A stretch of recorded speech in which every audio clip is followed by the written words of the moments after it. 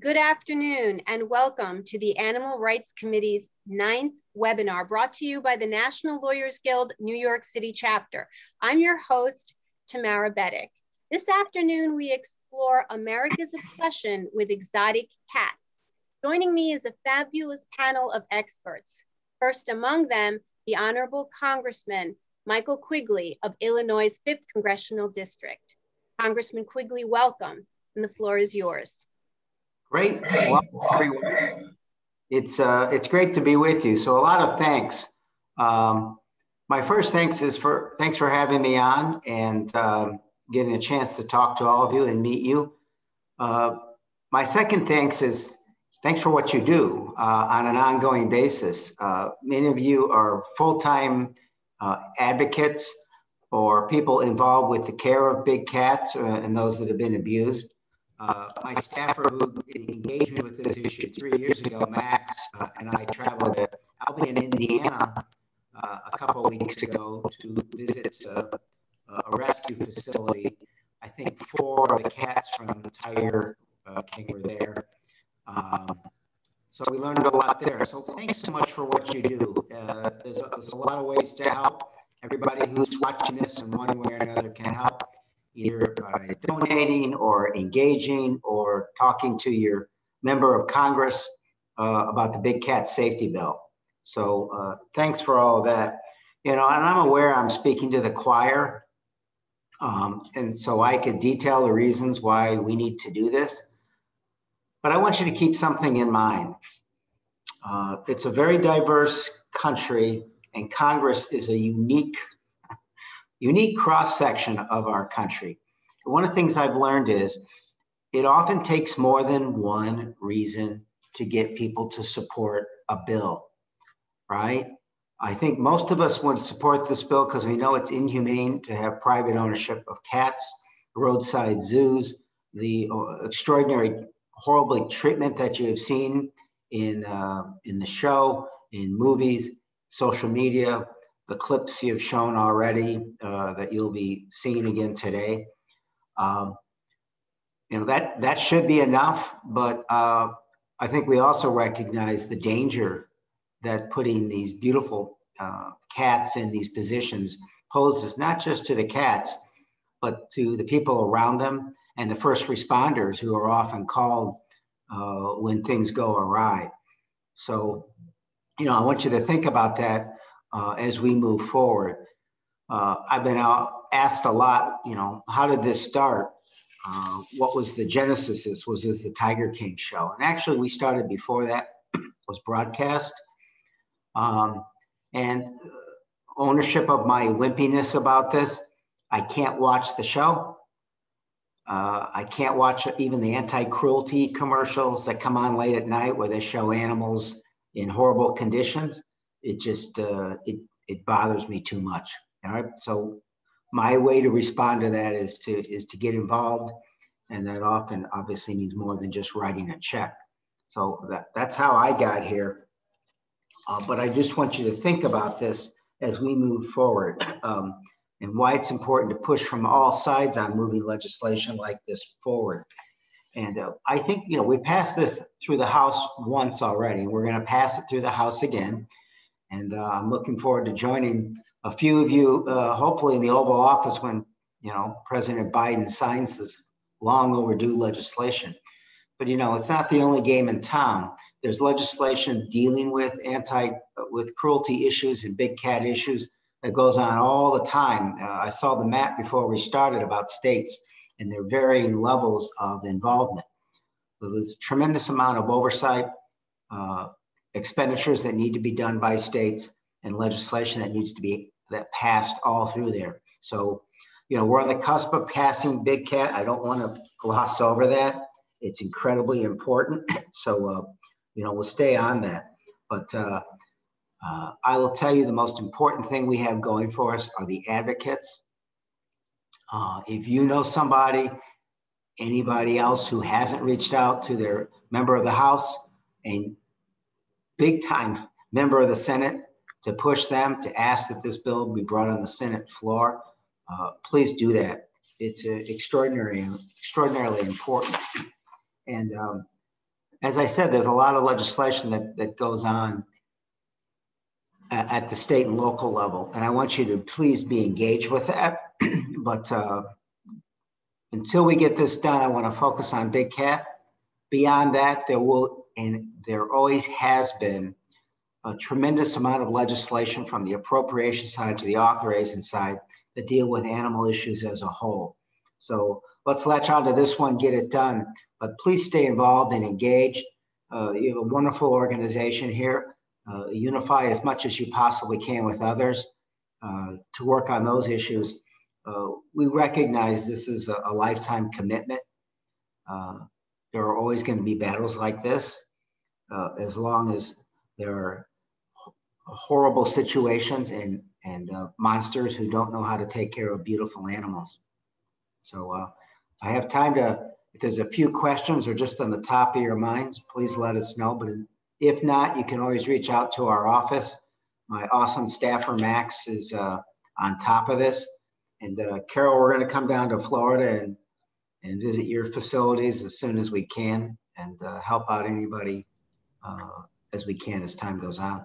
You guys have been awesome, and we can't wait to meet you.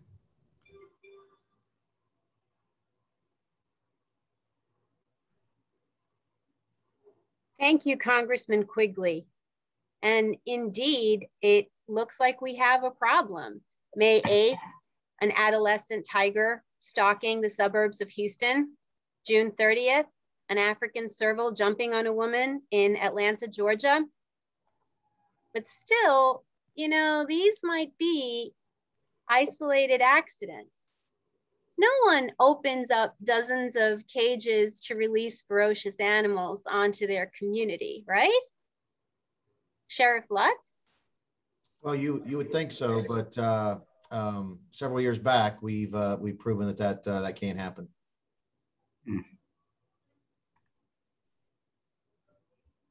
Can you tell us about it?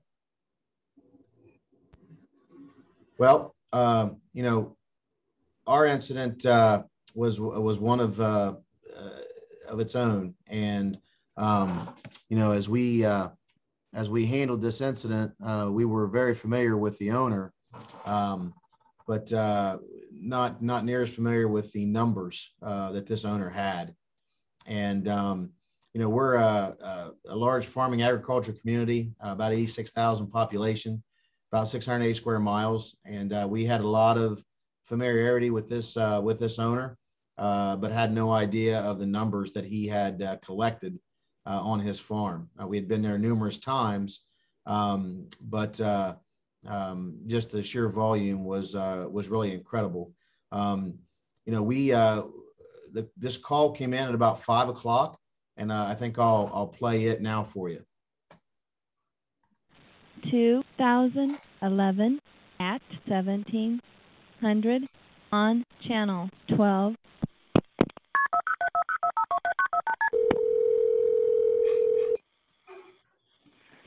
909.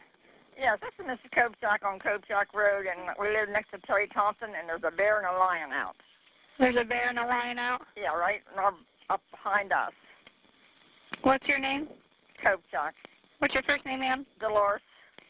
And it's behind your house? Pardon me? Is it behind your house?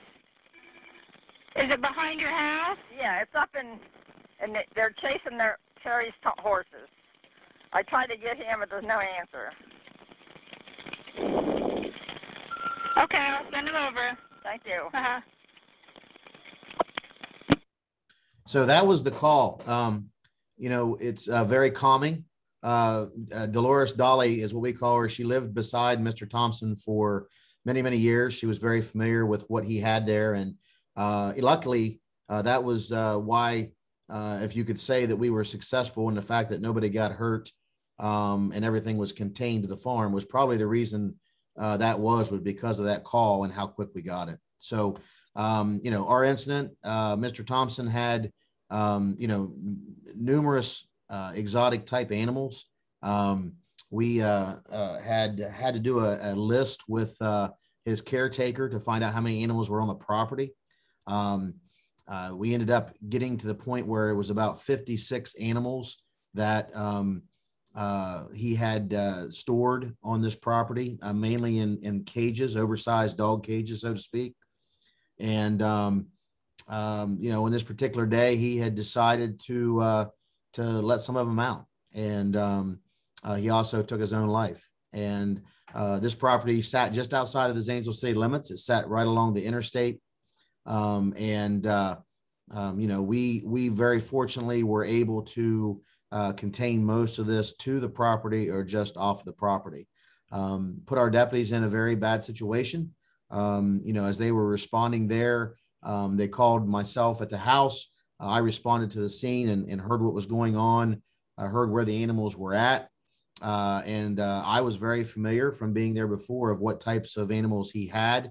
And so I issued the order that um, if there were any animals uh, loose trying to get off the property, uh, that they they were to be put down because we couldn't have those uh, types of animals running loose in our in our area. So um, that was the start of, of how it went uh, on that night. Um, you know, we finished up at about 11 o'clock that night. There was a big rainstorm that came in the next day.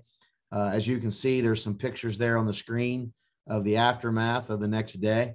Uh, that that picture was taken by uh, a volunteer, an unknown volunteer that helped us and, and ended up releasing it to the media, um, something that we really didn't think was needed. Um, but, uh, you know, that, that did happen and, and um, we were left to, you know, take care of, of the aftermath. Um, we actually found a, a, a tiger uh, the next day that was on the backside of the property. Um, we, uh, our SRT team escorted a, uh, one of the vet techs down to try to tranquilize it um, fired a shot and the animal kind of turned and started towards her through the woods.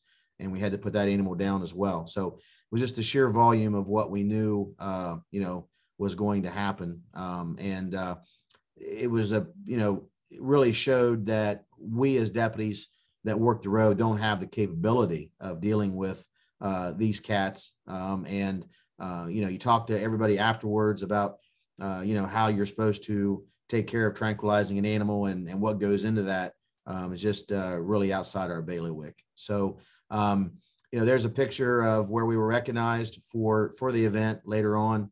Um, and uh, again, there's some of my information in case anybody would uh, would want to have questions for us. So uh, I wanted to take about five minutes. I think my five minutes is about up, and um, we're just uh, really uh, uh, enthused and, and happy and, and belated that Ohio took a step on creating state laws. And I've been very adamant and very try to do anything I can with the federal law to get it passed. And we're willing to help out however we can. Thank you, Sheriff Lutz. Um, after the Zanesville incident, Ohio passed some of the toughest laws in the nation. South Carolina and Indiana followed. Should private ownership of exotic cats be regulated by individual states? Joining me now is Professor Carney Anne Nasser to describe the patchwork of state laws that we already have and to tell us if these are enough. Professor Nasser? Hello, thank you for having me. Um, give me a second while I get my, my screen up here to get um, my, all right, here we go. So um, one of the reasons, I mean, to answer your question in one word, no, these are not enough. That's why we're talking about the Big Cat Public Safety Act, because it will establish critically needed uniformity of law that, as you can see from this map, this infographic, um, doesn't exist. And so just to just to kind of quickly go through what you're looking at here. You need to share your screen, Carney. Oh, I pressed share screen. See, why is it not doing that? Okay. Um, right. Okay, can everyone see the map now? Okay, great. Okay, so what you're what you're looking at now is the patchwork that we have. This is why it's so important that we pass the Big Cat Public Safety Act because we really need to establish uniformity of law. So to go through the what your what each of these colors means. Um, I'm going to start with the red. The red are the states that don't have any state level legislation regulating the private ownership of big cats. Now, that being said, Nevada did just pass legislation that prohibits public contacts for, it prohibits exhibitors from offering public contact with big cats. However, it's still red because it's still among those four states that doesn't have any oversight over the private citizen ownership of big cats.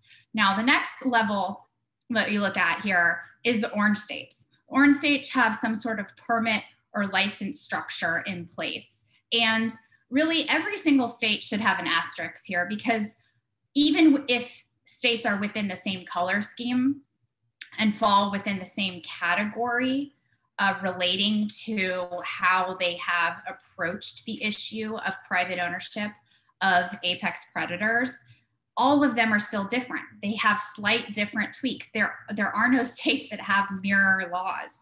So for moving from state to state very very different legislation now, that's been helpful to us in the past in the animal advocacy community. I mean, we've all heard that one of the reasons that Feld Entertainment decided to put an end to the Ringling Brothers circus was because navigating the patchwork of laws that were popping up to um, to ban bullhooks and other weapons used in circuses was just getting to be too logistically challenging. However, here in this instance, it really creates a, a much easier framework for people to traffic and exploit big cats.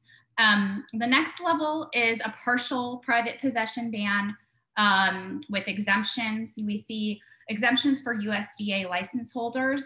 And this is something that exhibitors have been very, very adept at bamboozling lawmakers about because what they say is, oh, well, you know what? You, you should exempt us because we're federally licensed and inspected. That sounds great to the untrained ear really right? Because it sounds like there's some level of like approval there's some level of meaningful oversight when the reality is the usda itself has found that uh, in previous um, auditing reports that about 70% of USDA licensees with four or fewer animals in their inventory only sought to get a USDA license in order to circumvent state laws exempting USDA license holders, meaning they're private owners without an intent to exhibit who just want to keep owning their dangerous animals as pets. And then on the on the dark blue level, you see these are the states that have some level of ban, ban that exempts USDA license holders, as, as I just mentioned.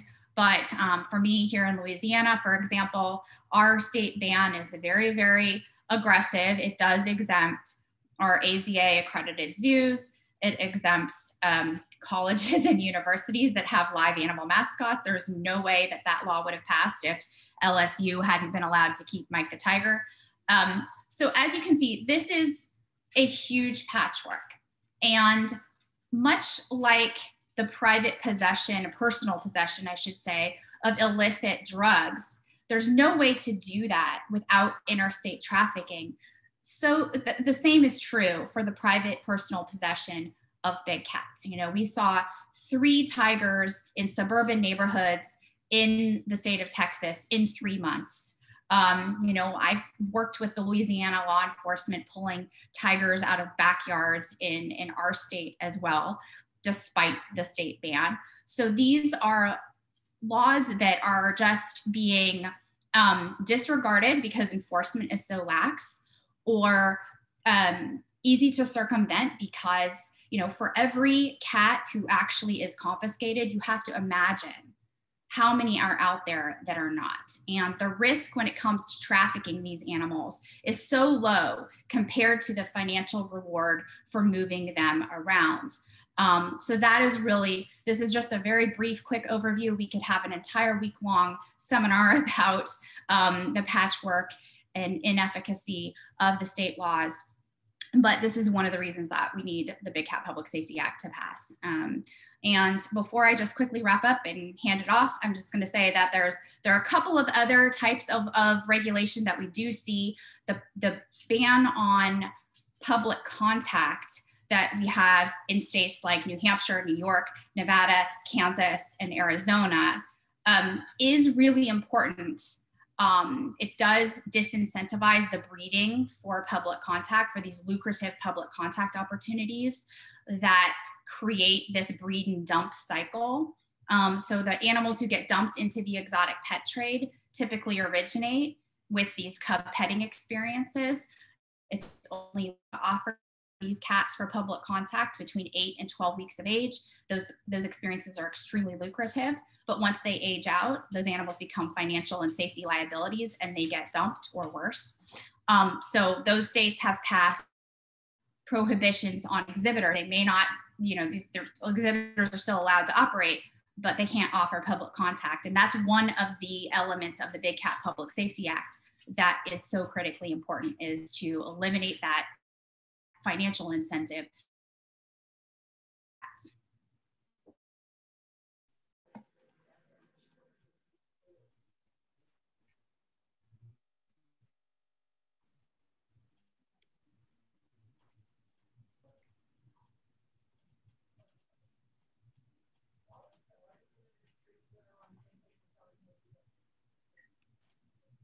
Thank you, Professor Nasser. My five minutes.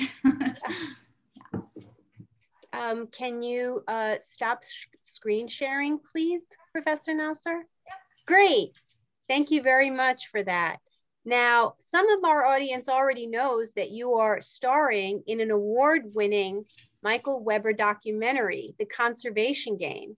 And with us this afternoon is your co-star, Tim Harrison, Director for, of Outreach for Animals. Now, Director Harrison, when you said to me that convicts, drug dealers, and child molesters are converging in this cub petting industry, I was completely floored.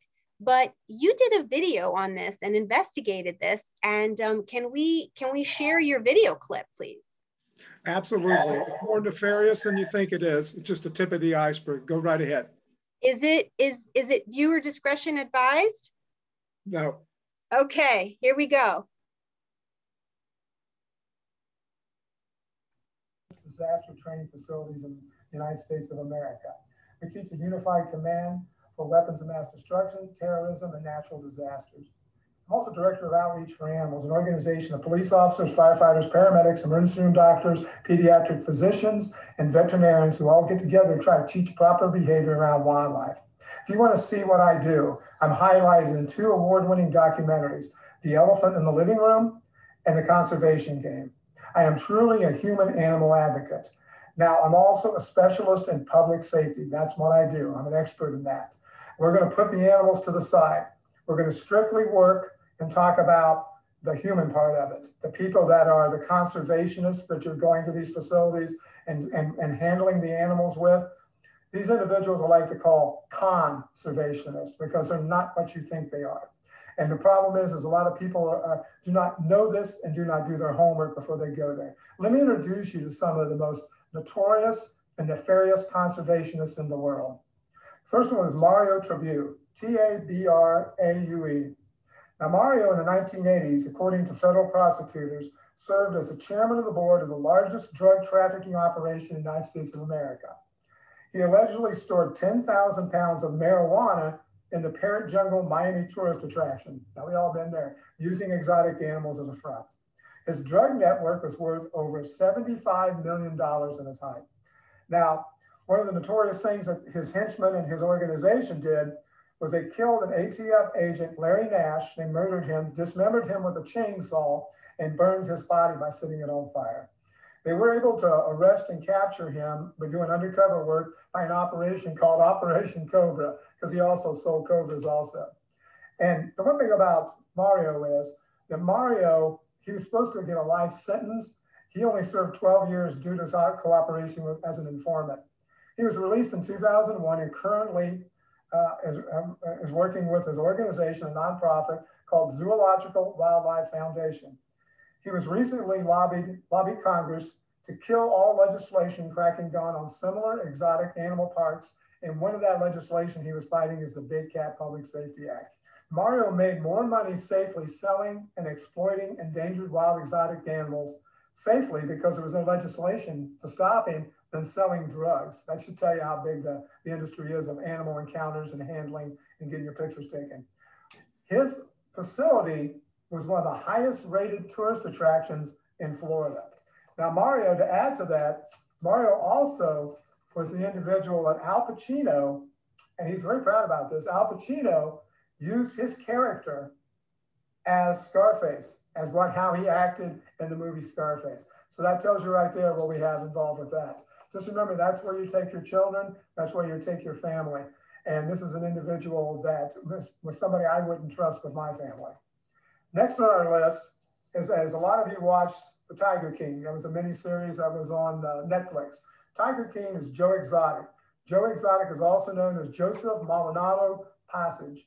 Well, Joe Exotic has been sentenced to 22 years for murder for hire to kill one of his uh, uh, predecessors, one of his individuals he didn't like by the name of Carole Baskin. And for the violating of the Lacey Act and Endangered Species Act, which means he killed endangered species when he was done with them and buried them on his property. Now, the best quote that came from Joe Exotic has a miles long, two mile long list of problems when it comes to people and you know outside the animal industry, criminal activity, drugs, things of that nature. He was also known for giving drugs and alcohol to young men to get them to help save him, you know, stay with him and be on his property and help him out. It's another kind of form of a cult using young men. We have young women, we have young men with him. So one of the things I, I thought was unusual was one of the quotes that came out during the hearing from Edward Grace, Assistant of Director of the U.S. Fish and Wildlife Service, Office of Law enforcement. He said wildlife crime is often connected with other criminal activity such as fraud, narcotics, money laundering, and smuggling. And I like to add into that also uh, child trafficking when it comes to young kids underage. Because everywhere I go to see these places, there's always underage men, young men and women working these and looking up to their heroes, the, uh, the conservationists, the cult leaders. So it's highly unusual. We look at these situations where people have control over these individuals with power, say it's like Mario, you know, the threatening power, or from some form of drugs or alcohol. And these are the people that you're bringing your children in to get their pictures taken with and trusting them with uh, large predatory animals around your children.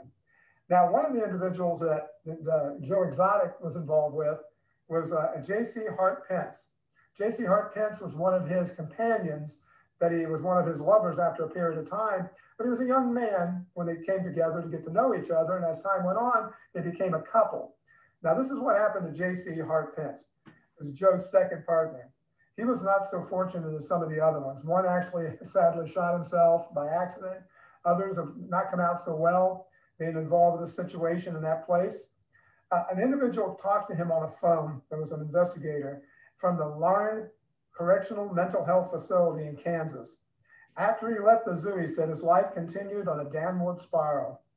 He was convicted in 2006 of molesting children younger than 14 years old. This is a guy that you're, he was playing with your children with a tiger cub when you were paying him money to do it.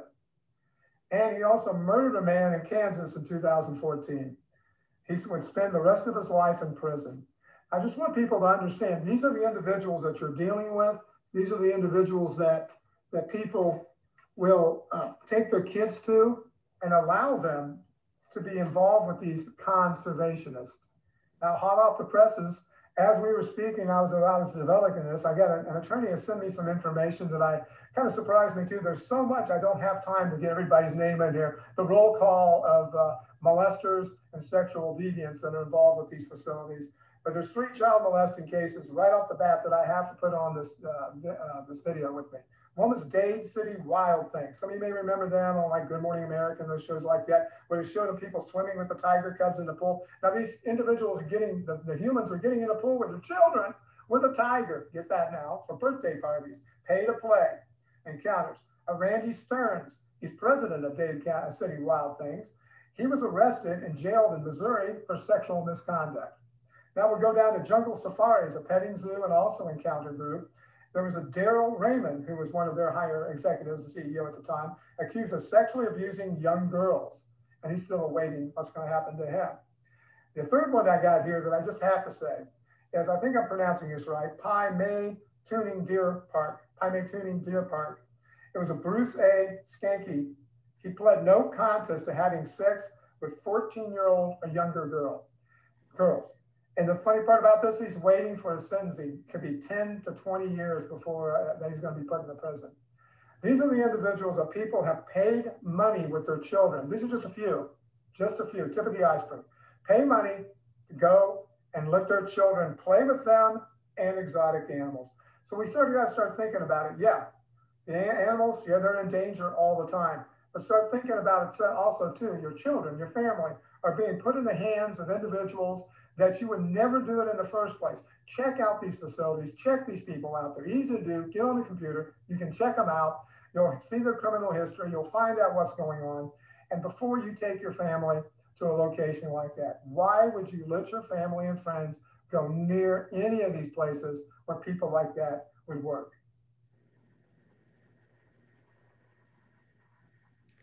Thank you, Director Harrison.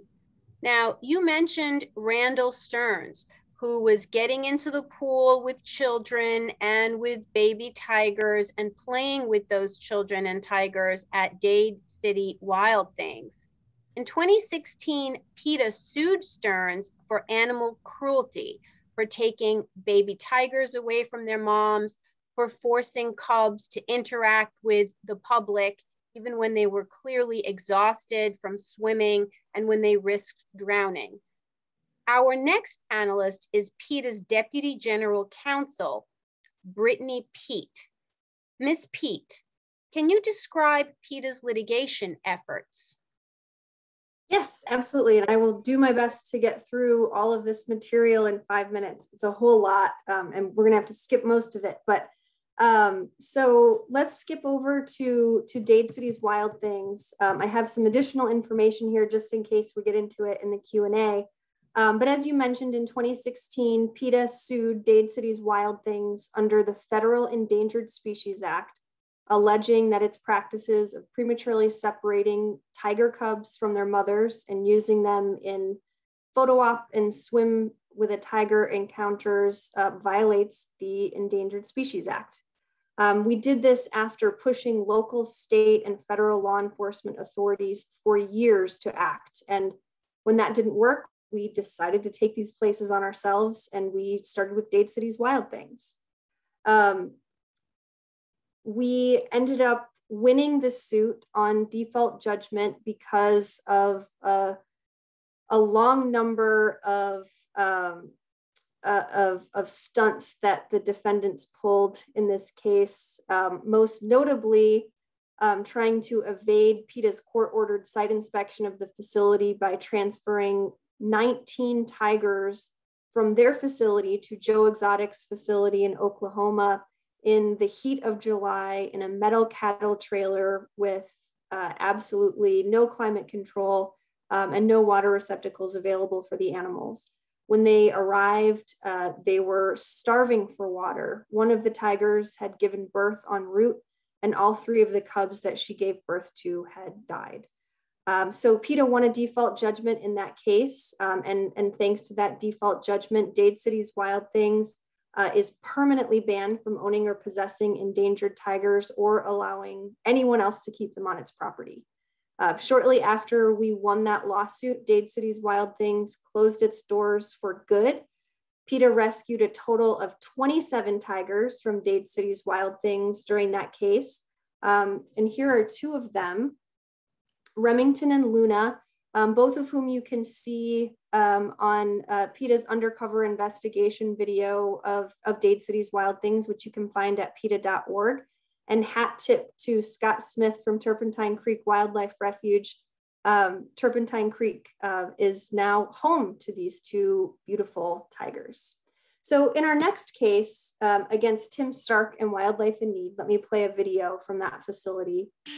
We wanted to up the ante. So this time, instead of just suing on behalf of tigers, we sued on behalf of tigers, lions, and tiger lion hybrids.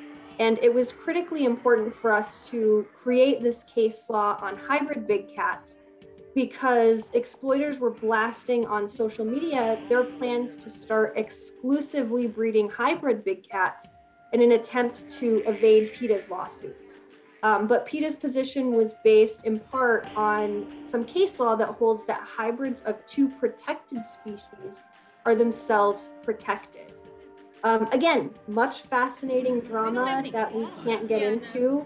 Um, but again, we won this time on partial summary judgment, which essentially means that the evidence in PETA's case was so overwhelming that a trial wasn't necessary. Um, so now Stark is prohibited from ever again owning ESA protected big cats. And this case established the first ever federal precedent holding that prematurely separating big cat cubs from their mothers and using them in public contact encounters violates the ESA. PETA rescued 22 big cats from wildlife in need um, following our lawsuit win. Again, a large number of them went to Turpentine Creek.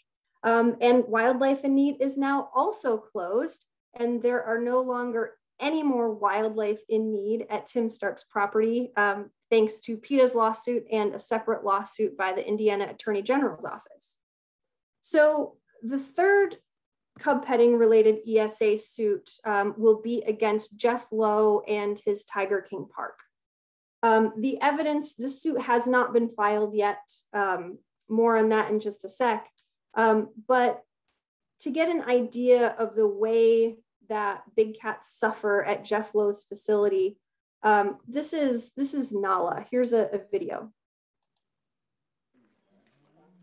What you're seeing here is something called metabolic bone disease, and we see this often in big cats who are rescued from roadside zoos.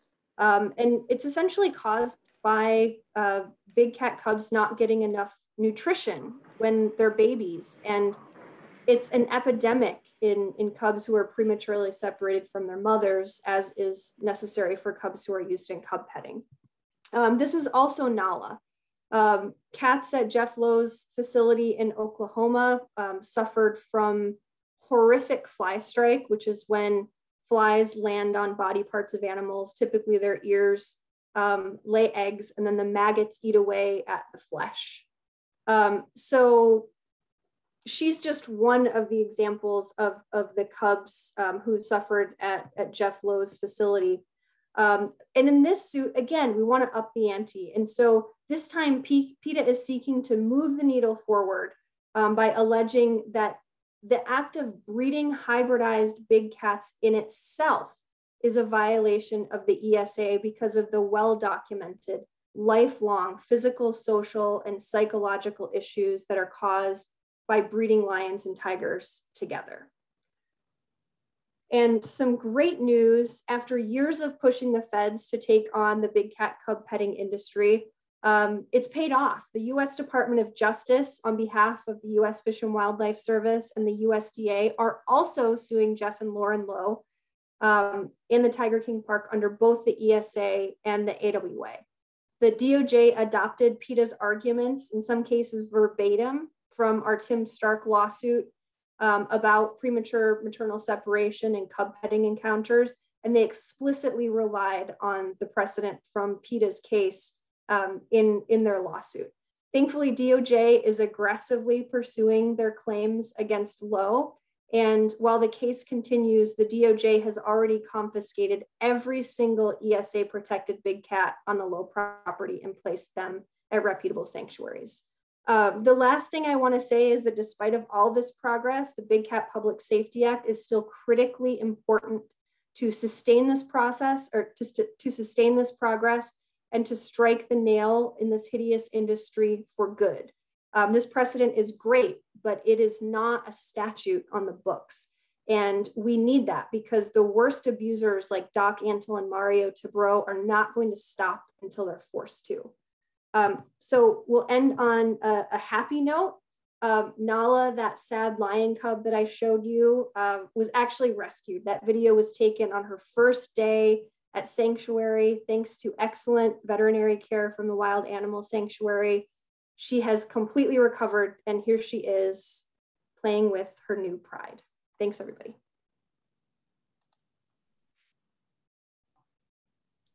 Thank you so much, Counselor Peet. That was wonderful. Very, very uplifting. But what our audience just heard was severe and repetitive abuse and neglect. You know, doesn't the USDA perform inspections of these zoos? One has to wonder. And isn't it their mandate to ensure that captive animals are treated in accordance with the law? Um, now, you've apprised the USDA for many years and through multiple industries, Professor Delcianna Winders. Um, as a professor of law, what grade would you give the USDA? The USDA knows full well I would give it an F, and I'll tell you a little bit why. I could speak for hours and hours about this, but I'm going to try and stick to my five minutes. We'll see how I do. So, I think it's um, the USDA is nothing short of complicit in the suffering and deaths of many, many tigers and other captive wild animals because of their failure to enforce um, and implement the Federal Animal Welfare Act. Um, we've heard a lot about other agencies and organizations who are helping these animals when really the, the responsibility lies first and foremost with the US Department of Agriculture under the Federal Animal Welfare Act, because anyone who is exhibiting animals to the public has to be licensed and inspected for compliance with minimum standards. And the USDA has repeatedly documented chronic violations at all of the players that you've heard about and many, many others um, and yet has renewed these folks' licenses to exhibit animals year in and year out, even as they are causing immense suffering and deaths of animals. So, um, what I would like to do is focus um, just on five examples. I've I've written extensively, and I've dedicated the bulk of my career over the last 15 years to challenging the USDA's failure. So um, we're going to keep this at sort of a high level of examples. So just bear in mind that these are five of many examples. Um, the, the first that I would like to start with is um, from Serenity Springs, uh, an operation that was in Colorado for a few decades, operated by a man named Nick Sculac, that was one of the largest suppliers of tiger and other cubs across the country. And this photo is hard to see, and that's because I've chosen to use only photos that were taken by the US Department of Agriculture itself for this presentation. They're much better documentation. You saw some of the, the things that PETA, um, that PETA took in, in Ms. Peet's presentation. They're undercover investigations that document the suffering much more clearly. And that's part and parcel of the problem is that the USDA isn't even adequately documenting these violations. But the, the truth remains that they are documenting them. They're fully aware of what is going on. And so, what is actually happening here? And I'm, i apologize, these photos are somewhat upsetting. Um, they're not the most graphic by any means, but they are upsetting. Um, so, what you see here is um, here's the quote from the USDA's uh, caption adult female cougar baby noted to be unmoving, stiff, and covered in snow in shelter structure. Not noticed by staff despite watering animals earlier in the day, end quote. So in case it isn't clear, baby is dead in this photograph. And in fact, just a few months before discovering baby's corpse, the USDA inspector had documented that many animals had been found dead and frozen in their cages at Sculac's facility. Um, there were a host of other Animal Welfare Act violations going on for years and years, including evading inspections, numerous tiger cub deaths, um, failure to provide veterinary care, including for painful conditions. I could go on and on, but um, the bottom line is that despite documenting these violations itself, year in and year out, the USDA renewed Sculac's license to exhibit animals, facilitated his continued breeding and cub petting, and it wasn't until 2017 when not the US Department of Agriculture, but a group called Tigers in America along with Turpentine Creek Wildlife Refuge, who you'll hear from shortly, with the help of other sanctuaries, stepped in and finally put an end to this cycle of breeding and abuse and shut down the operation and rehomed more than 100 surviving animals. Um, and that this was only after the USDA had facilitated the breeding and the exploitation of hundreds of animals. One of the many facilities that SCULAC supplied was GW Exotic of Tiger King infamy, offered, operated first by Joe Exotic and then his successor, Jeff Lowe. Um, this is Nala, who Brittany spoke about. But before we even get to Nala, we have to go way back to when Joe Exotic first got a license decades ago. Um, he never should have been given a license to exhibit animals in the first place. Joe was given a license to exhibit animals in the wake of a botched animal rescue that involved shooting numerous animals. Then he almost immediately began being cited for Animal Welfare Act violations. There was a glimmer of hope in 2006 when the USDA took rare enforcement action, fined him $25,000, temporarily suspended his license. And most importantly, Joe agreed that his license would be permanently revoked if he committed violations in the subsequent 18 months. Not surprisingly, he repeatedly violated the Animal Welfare Act in those um, subsequent 18 months.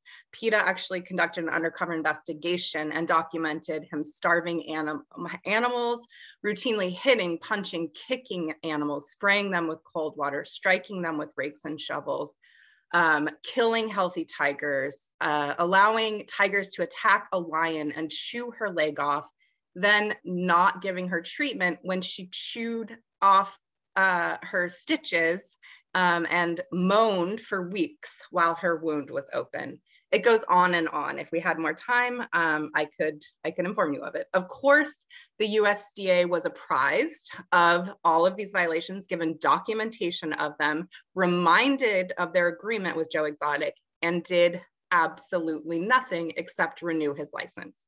Then, over a seven month period, 23 tiger cubs died. By, following a complaint from PETA, the USDA launched an investigation into that in 2010 inexplicably, that investigation languished for years and years, and in fact was still open when Joe Exotic was arrested years later. In fact, at the time he was arrested, there were four open investigations that had been languishing. Um, so here again, the USDA not only failed to take enforcement action, but affirmatively facilitated ongoing suffering by renewing the license to do business. Um, so we're grateful that Joe was finally held accountable for various crimes and incapacitated, but we need to um, keep our eyes on the fact that the USDA knowingly allowed to, him to harm animals for two decades and then turned around and allowed Jeff Lowe to continue that cycle of abuse. So the caption for this photo, uh, which again the USDA took itself, is quote, lion cub named Nala lying in the mud. Cub is depressed, lethargic, and with purulent nasal and ocular discharge. Notably, despite documenting Nala and other animals in such appalling conditions, the USDA did not exercise its authority to confiscate her. She was left in Jeff Lowe's care for months after this photo was taken and this citation was issued. And as you heard from, from Ms. Peet, it was only when PETA, through its own separate legal efforts, um, was able to step in and rehome Nala that she was um, got into the wild animal sanctuary and finally started to get the care that she so desperately need, needed. And as, as Ms. Peet rec recognized, the federal government is indeed now pursuing an action against Jeff Lowe.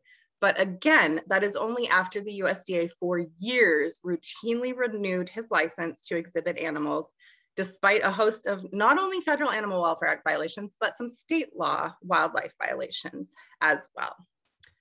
So our next example is another person you've already heard a bit about, um, Tim Stark, who you can see here roughly handling cubs who should still be with their mothers, which is his MO. The USDA notably did ultimately revoke Stark's license and fine him for well over 100 Animal Welfare Act violations. But again, this was only after renewing his license for years and years, despite not just mounting violations of the Animal Welfare Act, but also a conviction for wildlife trafficking. Um, some of these violations that the USDA itself documented were dragging cubs by their legs, swatting tiger cubs with riding crops, and notably the inspector observed that the animals were basically non-responsive to these assaults because they were so exhausted because he was using them every single day without sufficient breaks. Um, other violations included out allowing children to be bitten, dropping terrified protesting cubs into the laps of members of the public, um, improperly feeding cubs, which as you heard about results in metabolic bone disease, which Stark then proceeded to um, fail to treat. Um, and uh, he beat a leopard to death who was suffering from metabolic bone disease. Just the tip of the iceberg for Stark, which is moving along quickly. Um, next example, another one you've heard about, Dade City's Wild Things. Um, the, the USDA uh, caption for this photo, which again is not a great photo, it's not that hard to take good photos these days, uh, quote, tiger with hair loss on face, neck, and body. This is one of many, many animals the USDA documented receiving inadequate veterinary care at Dade City Wild Things, um, in addition to things like chronic failure to provide sufficient shelter, improper handling, using physical abuse to handle cubs, including pulling tigers' tails to restrain them and holding a tiger cub up by his neck, um, etc. Here is another example where the USDA did take rare enforcement action, but that action was only initiated after many years of documenting mounting violations. And then the enforcement proceeding itself took years and ultimately resulted in a paltry fine that was just pennies on the dollar when compared to the potential fine that they could have faced under the statute and they just had their license temporarily suspended rather than permanently revoked. And this is a chronic problem with the USDA's enforcement of the Federal Animal Welfare Act and the USDA's own Office of Inspector General has repeatedly condemned the agency for these enforcement failings. So, um, so far, thankfully, we've heard about folks who have been incapacitated, though not thanks to the US Department of Agriculture. The last person I want to mention is still out there exploiting and harming anim animals, and that is um, so-called Doc Antle of a facility called Tigers in Myrtle Beach, South Carolina. Um, the USDA's caption for this photo is underweight lion with multiple skin lesions. This is another animal who was denied veterinary care um, is, as you may know, facing two felony charges for trafficking lions, um, state felony charges, as well as more than a dozen misdemeanor charges, but he remains licensed by the USDA to this day. Despite those charges, despite a host of Animal Welfare Act violations, including endangering the public, chronic failure to provide adequate veterinary care, failure to provide cage space, clean water, etc. Um, so I'm just gonna put a couple further reading options, some of my scholarship on these issues if you're interested in doing a deeper dive, because this is really just a very high level gloss.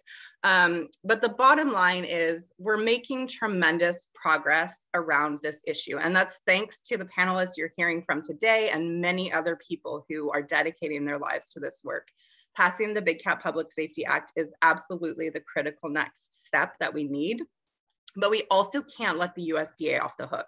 So long as we're allowing tigers and other wild animals to be held captive, the USDA needs to be held accountable for its responsibility to ensure that they're given at least the minimal protections they're entitled to under the Animal Welfare Act. And that includes not issuing and not renewing licenses to known violators and taking meaningful enforcement action. Um, so thank you. I'm happy to answer any questions by email if we don't get to them during the Q&A and um, to share any of that scholarship if folks would like. And I probably went over my time and I apologize for that. Thank you very much, Professor Winders, for that insight into the USDA. Um, that was absolutely horrifying.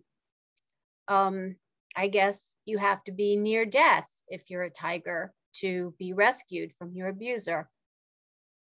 And when animals are reaching that end of the line, the expert who has coordinated their rescue has been Kelly Donithan. Kelly directs the Global Animal Disaster Response Team at the Humane Society International. Ms. Donithan, you coordinated a huge rescue right here in upstate New York, didn't you? Yes, thank, thank you. Thank you so much for having me today. And uh, just to clarify, there are many people that um, are out there rescuing these animals, and many of them are on this call today. And and uh, so I just wanted to share with you um, uh, operation that um, I was a part of when I was working for International Fund for Animal Welfare. And this um, was a case. Let's see. There we go. Um, can you see the the screen? Okay. Great. Um, so J&K Call of the Wild was um, a, truly more of a, a, defunct sanctuary or a pseudo sanctuary, which I believe you'll be hearing more about um, coming up. Um, it's they had lost their USDA license in 2014. This was actually not the first time, but as we just learned, oftentimes those USDA licenses were just handed back over, despite um, all of the uh, huge issues that were at the facility. Um, this time, uh, some credit to the USDA uh, inspector and the local authorities, um, they really meant business. And uh, we tried working with the owners to uh, voluntarily place the animals or sanctuaries stepped up to take them, but um, they became uncooperative. And ultimately, um, we had to work with the authorities to, to um, execute a, a confiscation.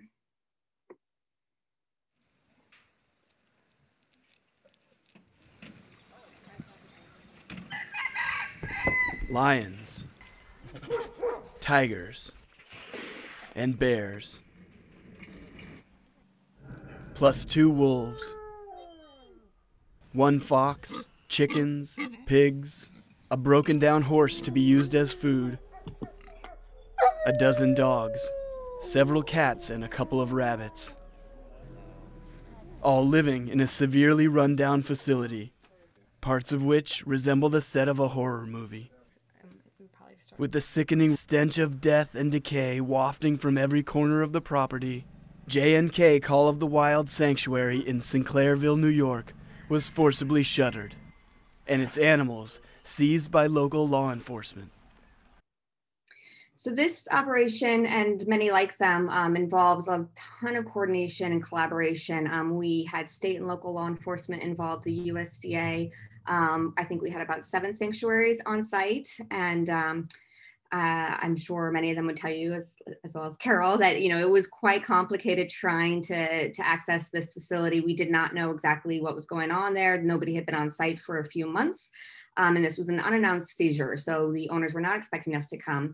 Um, so it took a lot of uh, coordinating. We had to, um, I had to write affidavits to the judge to try to get um, a, a two-day warrant um, because we were concerned about not knowing exactly what we were walking into, being able to get all the animals off safely and um, as well as, uh, and that involved, you know, uh, keeping the perimeter and the facility safe for 48 hours, um, which thankfully was, was able to be done. Um, obviously, safety is one of the biggest things we're looking at, um, especially when we don't know exactly what we're walking into.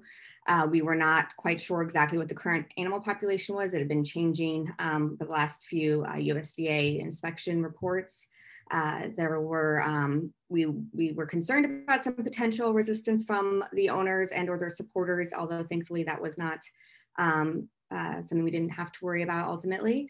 Um, with all these people coming on site, actually, you know, animals get excited, potentially potentially can turn aggressive, um, and just having so much law enforcement on site um, especially someone like me who's not around guns a whole lot, it's a little concerning one. And they're not around big cats all the time. So we want to make sure we're all on the same page. We have clear communication um, and that we're moving um, swiftly but very cautiously. And uh, as well as just dealing with with the facility as it was, um, you know, it was really broken down you have rusted and not really well working cages. I'm trying to make sure that everything's at least secure enough for us to to operate. Um, in that middle photo, you can see we had to actually cut into some of the, the enclosures to get the animals out. This is partially just because of the way um, the, air, the facility was set up. Um, we were the bottom photo, you can see we're loading a bear right in almost into the corner of the tiger's enclosure, which is very tight quarters in some of the areas. Um, and so it was, um, again, safety is top priority of people and the animals. So uh, it's it takes a lot of um, of working together. And uh, there were some additional complications. Um, we did at one point hear that there was um, a breach of the security, and the owner's son did actually get through the forest on part of the property and came through. Um, and after talking with them, we were um, we were able to to work with him and, and give him time to kind of say goodbye to some of the animals. Um, as we've been hearing, there's just a, a, lot of things that are involved, a lot of different um, mindsets and personalities and potential other psychological uh, things going on um, that involve, you know, get people involved in this kind of trade. And um, one of the other things is we found a number of domestic animals on site as well that we um, were able to quickly get a warrant for and seize them as well. And it was very hot. This was um, the, the, day after Memorial Day in 2014, and we were having to constantly try to give water water to the animals. They hadn't had a lot of water. We did have one scare um, when we had to anesthetize one of the lions. Thankfully, um, he pulled through and has continued to do really well at a sanctuary. And um, just show one more little clip. It appeared that the animals had not been fed or watered for days. There were also a vast variety of domestic animals on the property. There's rabbits bleeding, roaming around. Rabbits? Mm-hmm. We've got chickens, we've got dogs, we have quite a few shepherds up here. You've got potentially dogs in crates in the house. Some of these shepherds are pretty aggravated. Kelly needed to make sure there was a plan for rescuing all of them, not just the exotics. Most importantly, we need to focus, mm-hmm. you know, on what our task is at hand today. So it, you, are seeing kind of all the different structures and trailers in there. Every time we walked in, we first weren't sure what we were going to find in it. Usually, we were finding some sort of animals or evidence of animals, but we also found plenty of evidence that, that big cats have been kept in some of those trailers. And we even had an animal fall through the bottom of one of the trailers at one point. Um, it was so rotted and coming apart. Um, so it's, uh, you know, every case is a little bit different, but I think a lot of these issues are things that people involved in rescue often um, see whether it is a confiscation or if it is a voluntary um, surrender. And, um, but I don't wanna leave you guys with those images. Um, thankfully, um, all these animals were, were safely transported to sanctuaries. Some of them um, were older and, and lived um, a, a, shorter time afterwards, but at least had, um, you know, that end of their life being really great. And uh, the, some of them are still doing really well at the sanctuaries. And um, if I can, I will just share one last little moment uh, with you guys.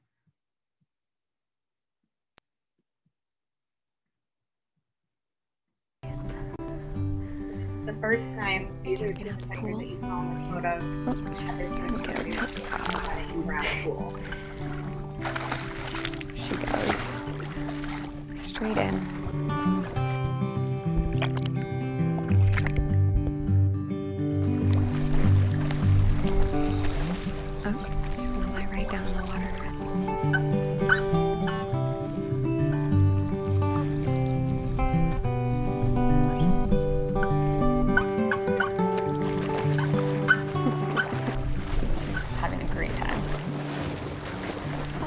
Splashing.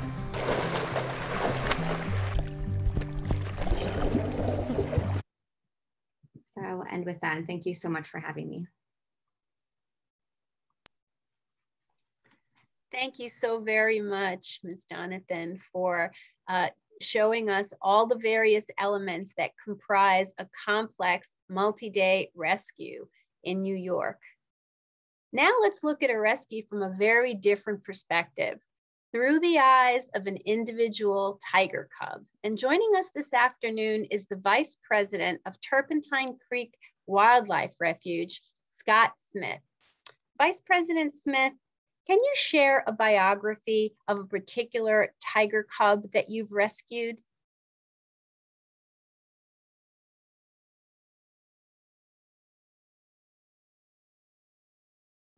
You need to unmute, Scott. Sorry about that.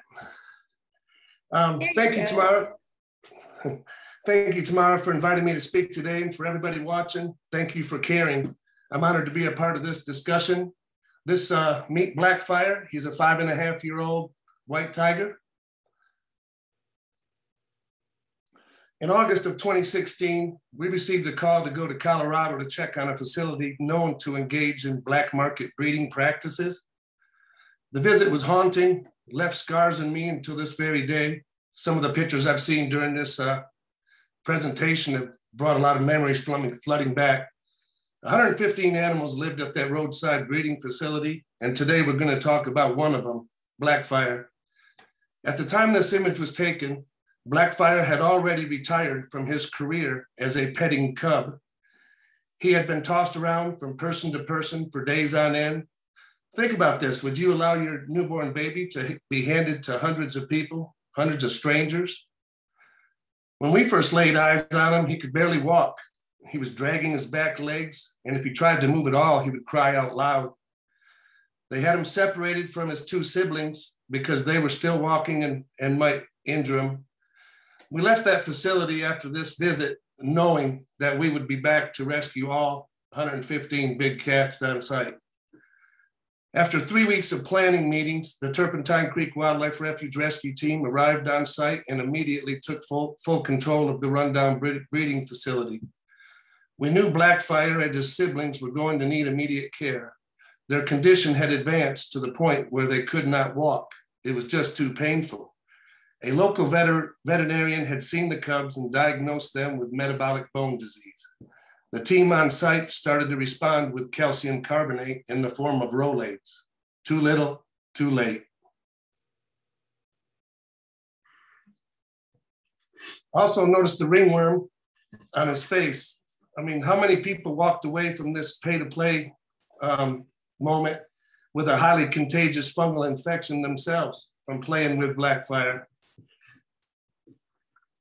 Now, why is Blackfire in this situation? The nationwide problem with metabolic bone, metabolic bone disease in big cats is driven by greed and the vast lack of basic animal husbandry skills. This is Shakira on the left and Bosco on the right. They are the parents of Blackfire. Inbreeding is the only way to produce a white tiger, which is genetically inferior and leads to a plethora of health problems. Speed breeding, a common practice amongst unethical breeders further diminishes the genetic integrity of the offspring, in this case, blackfire. Another common practice of unethical breeders is to pull the babies from their mother immediately after birth in an attempt to make them tolerable of human handling. Nutrition is not the top concern for roadside breeders, so Blackfire didn't have much of a chance. Poor nutrition for his mom, poor nutrition for him. Here's a short video Uh, of Blackfire's mother, Shakira. She's distressed with a newborn cub. At the breeding facility in Colorado, Shakira had so many cubs that were taken from her immediately after birth that she just does not know what to do with them.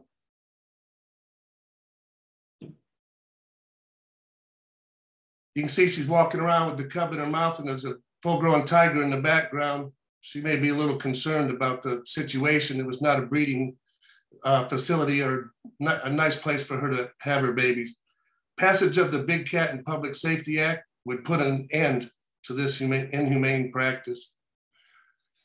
Blackfire, along with his two siblings, were made comfortable with pain medications for the 14 hour journey to Turpentine Creek Wildlife Refuge in Eureka Springs, Arkansas. Immediately upon arrival, there was a veterinarian along with the Turpentine Creek team ready to do all they could to help the young tigers at our on site Jackson Memorial Veterinary Hospital. This is Blackfire, sedated, ready for his comprehensive exam, including x-rays of his thin, flexible bones caused by metabolic bone disease. These two x-rays show that Blackfire definitely suffered from severe metabolic bone disease. Due to extremely low bone density you can see the compound breaks here and up here with the red circles and a fracture in his pelvis here. And after close study of this x-ray with our current vet, she believes there was a break on this side as well. The image on the right shows another devastating result of metabolic bone disease. The x-ray shows the front legs. Blackfire's bones are so weak and soft that they're curved here It's supposed to be a straight bone, ladies and gentlemen. It's curved from the disease. And you can also see a compression fracture um, in the bone up in here. This, see how this femur goes down straight and this one is compressed right down on top of the knee. The image on the right shows another devastating result of metabolic bone disease. The radius and ulnus, you see how they're crossed here? They're supposed to be straight. They go in behind here and they bend right up into the bottom of the knee. Uh-huh. It was also found that Blackfire, like many other cats with metabolic bone disease, has a narrow pelvis, which impacts the passage of digested food. This is all preventable by ending the unnecessary breeding of big cats for, non, for the non-sustainable cub petting industry. Obviously, Blackfire underwent immediate vet care.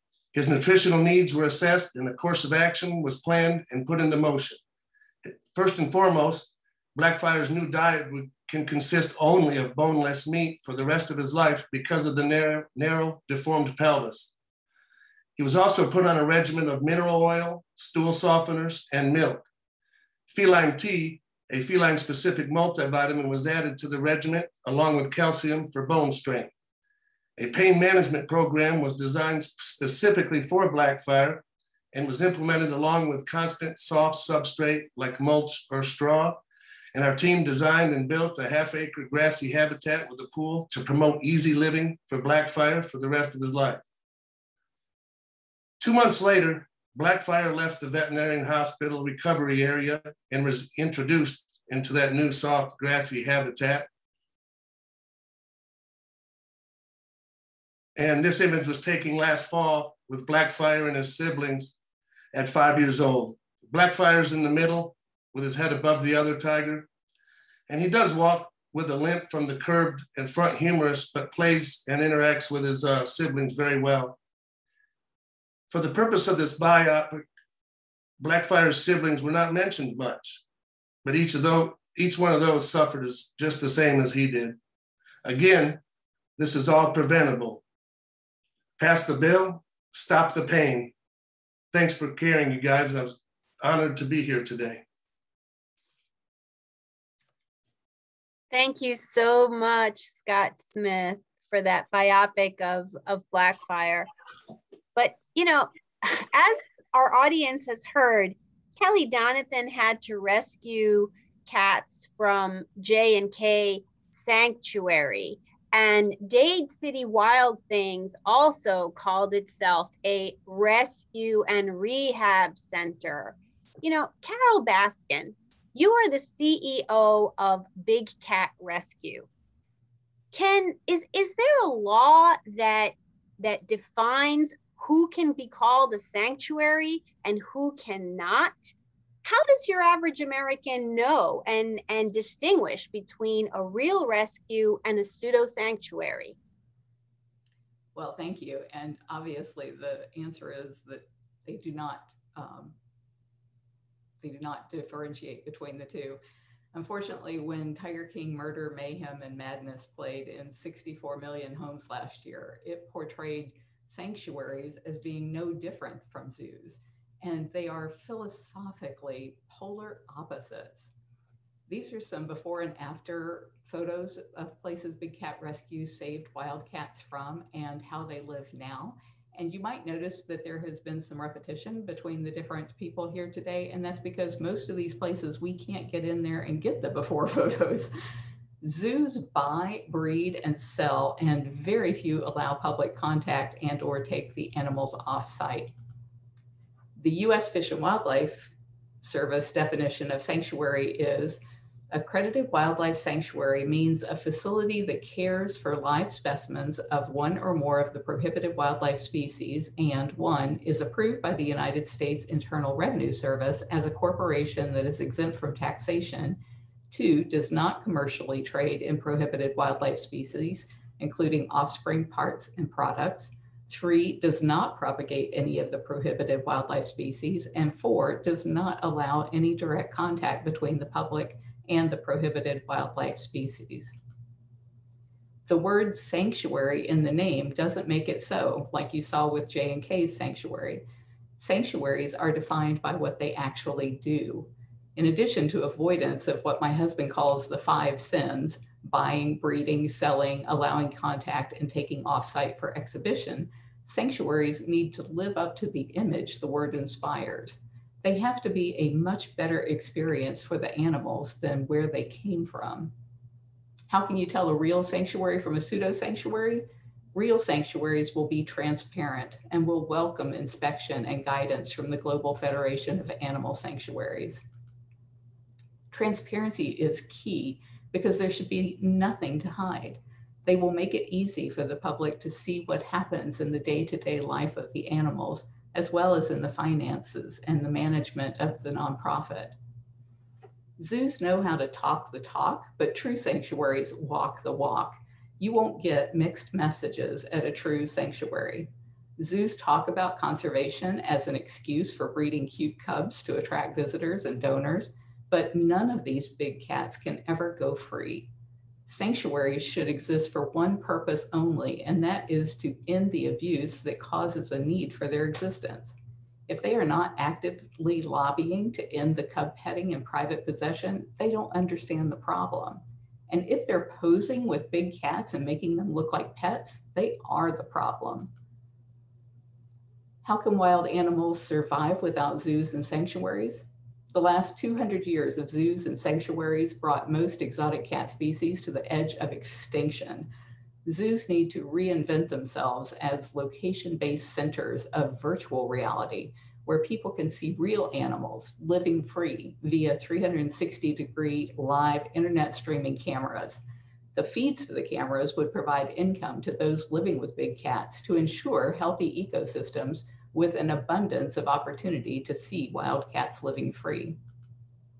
Right now is the most important time to roar out for big cats, and you can do so at bigcatact.com.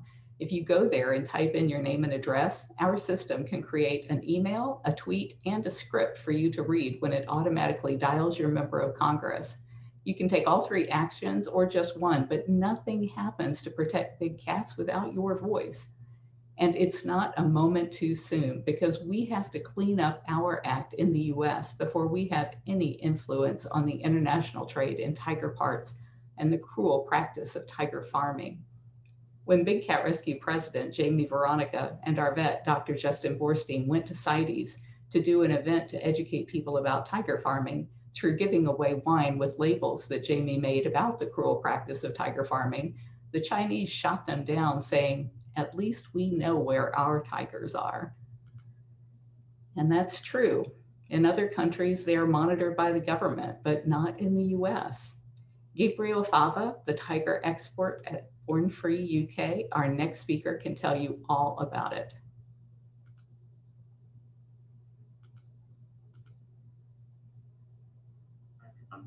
I'll be with you today very early in the morning, my time. Apologies for the speed I'll be going also, but it'll be a quick overview of commercial tiger trade and its implications for wild tigers. So just to set the scene, get us all on the same page, some key facts about wild tigers. They now number somewhere in the vicinity of just 4,000 animals throughout their range. Around 60% of them are found in just one country, India. So that means that we have the largest population right next door to the largest demand country, China, representing, of course, an ongoing uh, threat.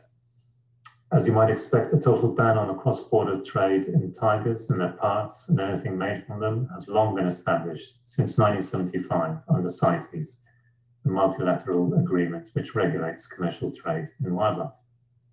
As far as domestic trade goes, in 2007, countries agreed to not breed tigers commercially for domestic trade as well. And also that uh, breeding should only take place for conservation purposes. Unfortunately, there is a familiar gap here between policy and practice.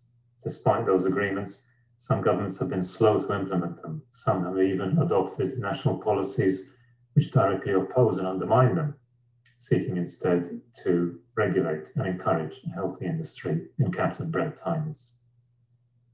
Many of you, of course, will have heard of tiger farming in Asia, conjuring up images of battery style row after row of tiny, barren, cramped, cement floored enclosures, which are home to speedbred tigers hidden away from the public eye. But of course, there's a range of facilities, some with debatable attractions like live animal feeding, photo props, and also retail areas selling uh, products made from tigers found on site. Some are just retail outlets or even restaurants. Some simply have tigers passing through them on their way along the trade chain. Most of these are implicated in commercial trade, both legal and illegal. Poorly regulated jurisdictions, in conjunction with lax controls, facilitate the movement of tigers into both legal and illegal trade chains. Criminal syndicates take advantage of those conditions. Concerns over captive tigers and their breeding aren't confined to Asia, and there's a pressing need to look more closely at South Africa, Europe, and the United States. Healthy markets and the sources to feed demand are found the world over. That demand stimulation affects not only captive tigers. Wild tigers and their parts and products are considered more virile and stronger, which creates parallel markets depending on the client and on the price point. Unfortunately, we see this played out with other species too, such as the Asiatic black bear, whose farming for medicinal bear bile was introduced under the guise of assisting wild bear populations by providing a captive bred alternative and supposedly easing poaching pressure. This, of course, was at best a failed experiment, and the species not only isn't recovering in the wild, but the demand has stimulated poaching and illegal trade of bears further afield in North America. So making a product readily available has the opposite effect to satisfying demand the wild tigers are very much in the crosshairs because of the trade in captive tigers. So let's be clear, tigers from these facilities serve no conservation purpose, whatever you may hear from the industry's champions and apologists. The commercial tiger industry has now developed to such a point that the number of captive tigers vastly outnumbers that of their wild counterparts. Just four Asian countries have a roughly estimated 7,000 captive tigers. In the US, there are rough estimates of between 5 and 10,000.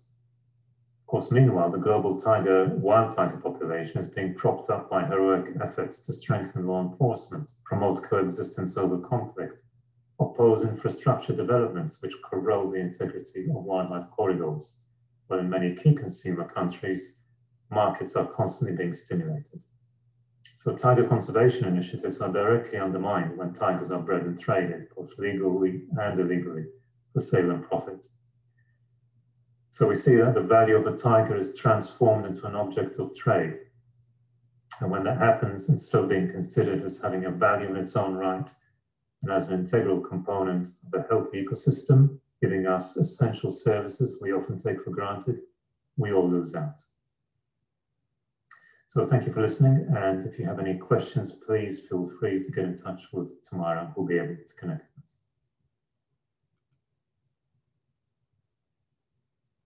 I can't be with you today. Thank you.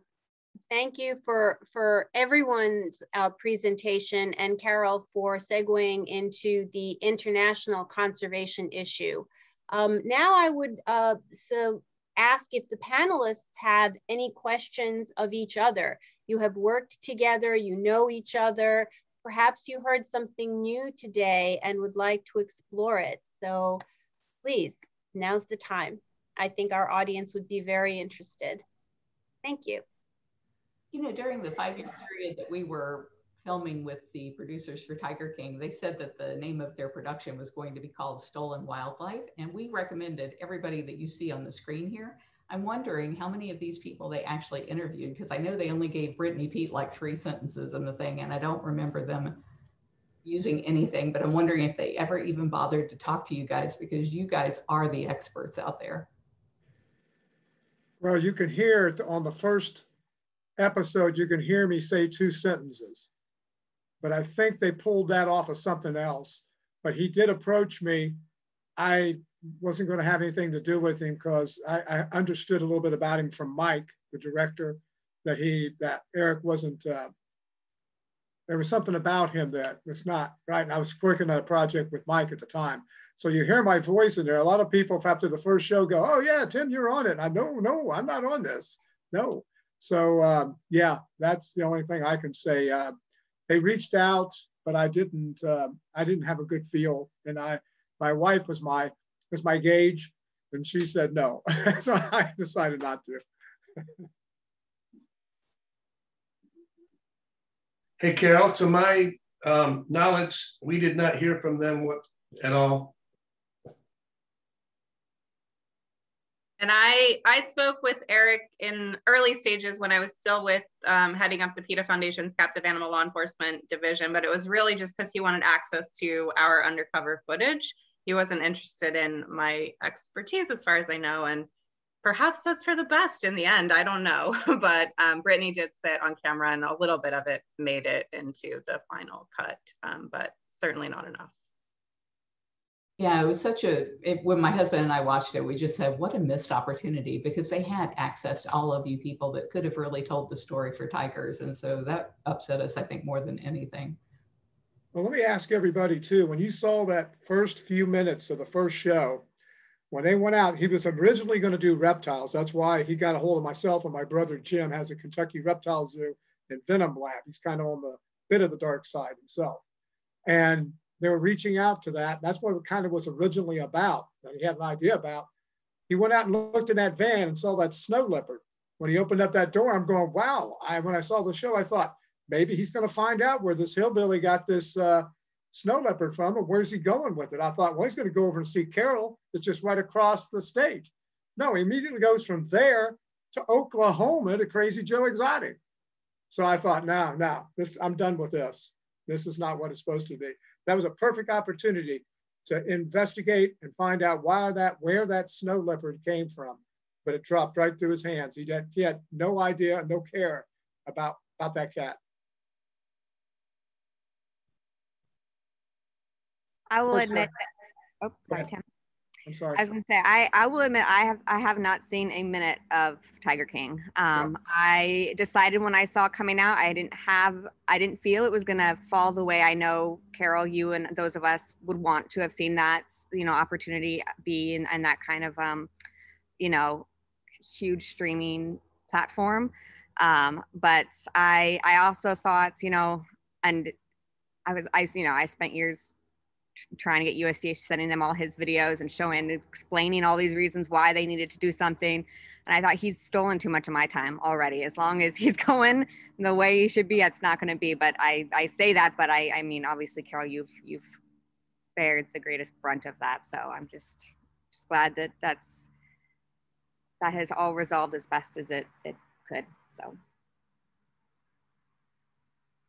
It was definitely uh, since the new one, the conservation game. I don't know if you remember, Carole. Somebody asked me about, uh, you know, Jack Hanna and some of the other stuff, and I said, well, whoa, whoa, this is not a human soap opera. This has nothing to do with the humans. This has to do with the animals. At this time, that show was reality TV, alleged, you know, reality TV, and it was as it was more of a human soap opera, whereas this is about the cats. This is what's happening to the cats. So I wanted to get them off that as fast as I can. I know you do the same thing, Carole. You just this is about the cats first, the conservation game, and the rest of it's, you know, there was a, a soap opera that he's trying to do. It's not. It's, it was. Uh, I I feel sorry for you. Like I said, you know who was supporting you. We know what the truth was. So it's it's. I'm glad that everything's coming out to be smoothing out now, and it, and it's going to be uh, everything's going to be much better for the cats. I I just feel it.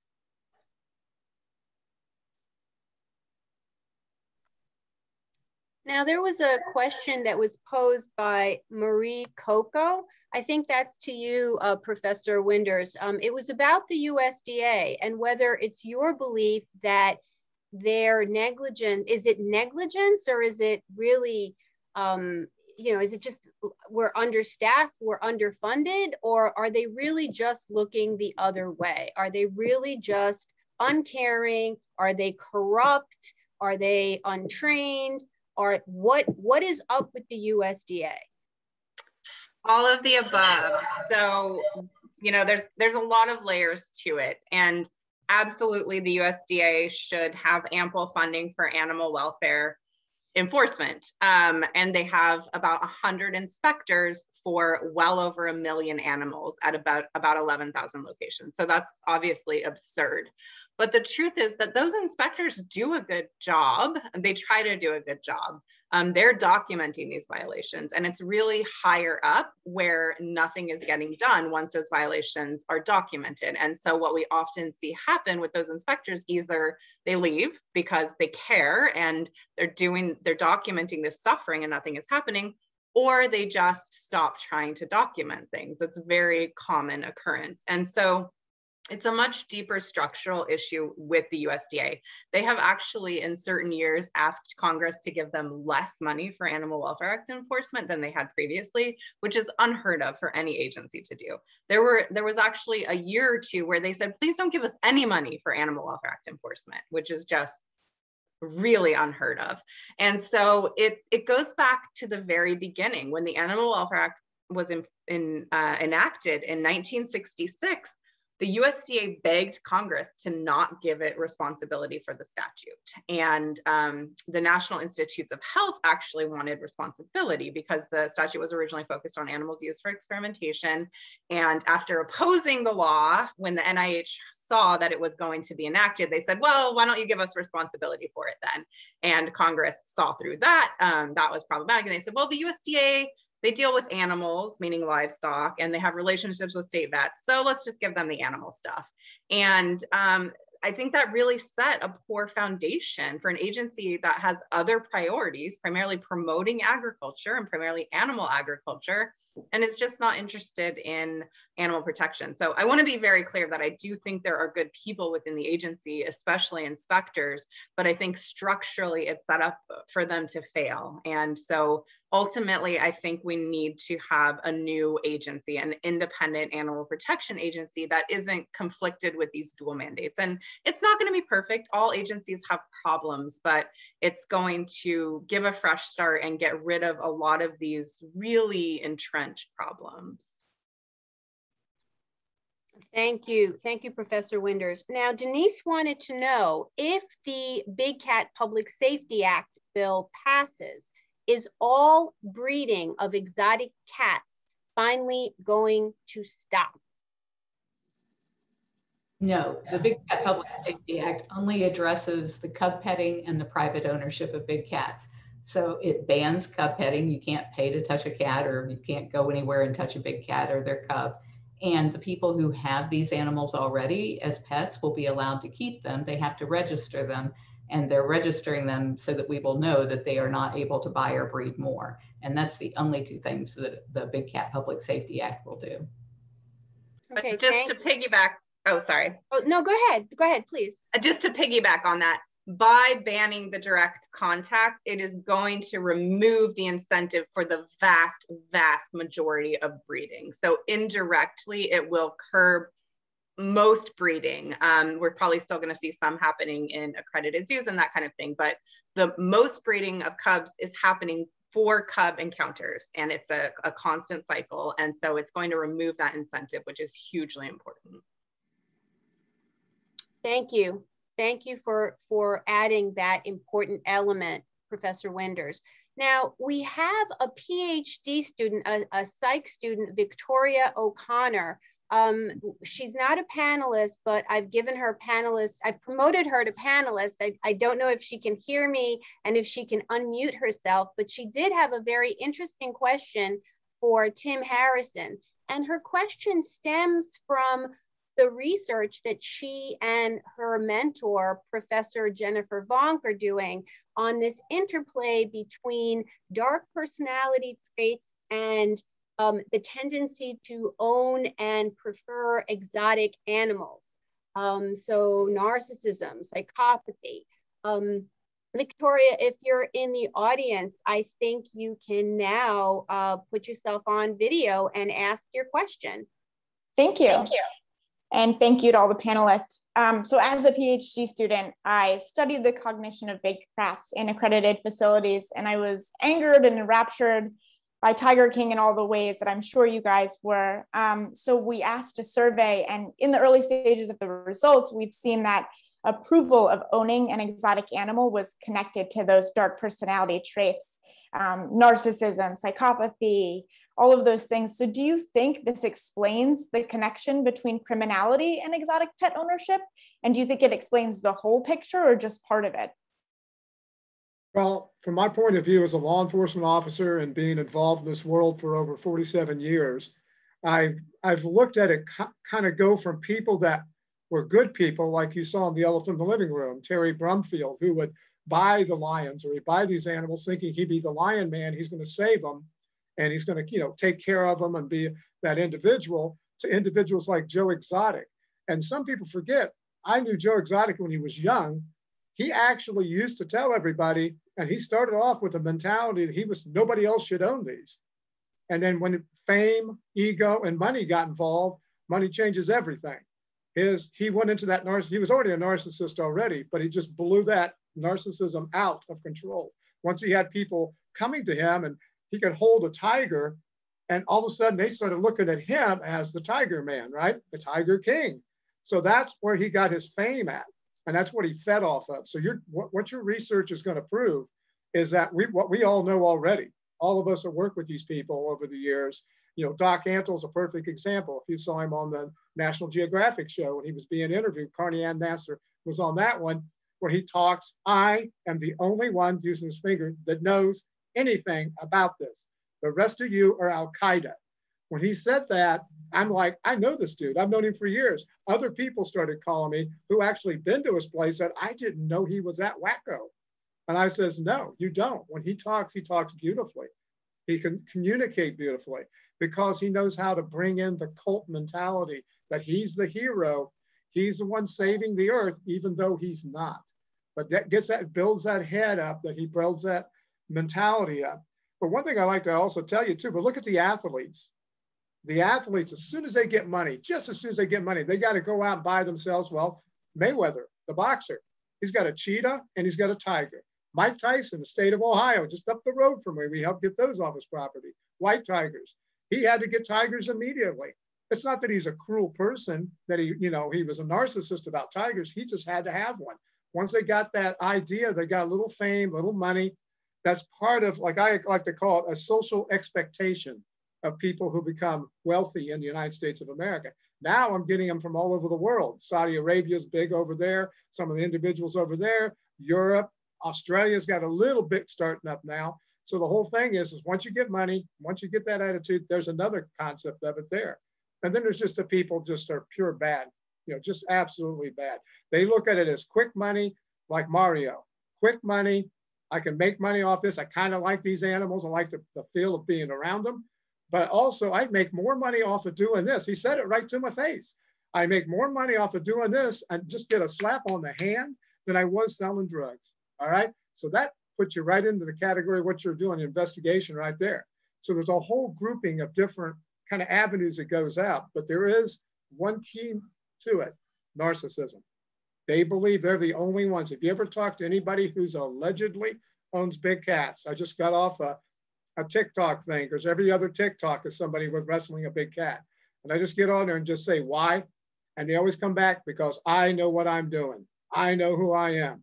I know how to handle these animals. And we all know, as Carole and the rest of you can say up there, and the professor, and, and you know Scott too, these are the people that we're going to be seeing in the emergency room. Thank you, Tim. One final question, um, and this one from Iwa Laska. She uh, referenced our discussion about what is a sanctuary, what is a true uh, refuge, and what is a pseudo sanctuary. She wanted to know what about AZA accredited zoos? She thought that um, we represented most zoos as bad places. What if they're AZA accredited? Does that make them better? Anyone jump in. Carole? I can jump in. Or Carole, you want to go ahead? Yeah. I'll, I'll go ahead and then maybe you can add on. Um, so fewer than 10% of animal exhibitors are accredited by the American um, Association Zoologic. of Zoos. Yeah, the AZA. Um, so it's a very small percentage, and they do have better standards and you know third party accreditation. So I would say yes, it's better. Is it perfect? Absolutely not. Um, there are still problems, but AZA accreditation is much better than no accreditation, and it's better than some of these pseudo accrediting bodies that are popping up, like the ZAA and others. And um, that's one of the articles that I put up on the further reading list is really delves into this question of accreditation because there's a real push now that the public is a little bit aware of these issues to want to try to seem like you're doing the right thing. And, and so places are trying to prey on that. And so I would say it's better. It's not perfect. Um, the, the gold standard is the Global Federation of Animal Sanctuaries, which uh, of course Carole's Place is accredited by. Um, and even there, it's not perfect. I mean, issues are going to come up when you're dealing with captive wild animals. But when you at least have meaningful standards and you have third party inspections to do what the USDA is not doing, there's some sort of check that's happening. So Carole, I don't know if you want to add to that. Well, it's just the philosophical difference to me. I mean, you are absolutely right in everything that you said, but zoos are in the business of having animals in cages and sanctuaries are in the business of there not being animals in cages. So it, it's just that simple. And I think zoos are going to have to remake themselves into what they have claimed they have been for years. They say they're all about conservation. Well, then they need to set it up so that people are seeing animals in the wild and that money is going back into the wild and doing those conservation things, not what we currently think of as zoos. I, I have to agree with that. I think the entire zoo philosophy of let's go see animals caged behind bars is 19th century and you know is extremely exploitative.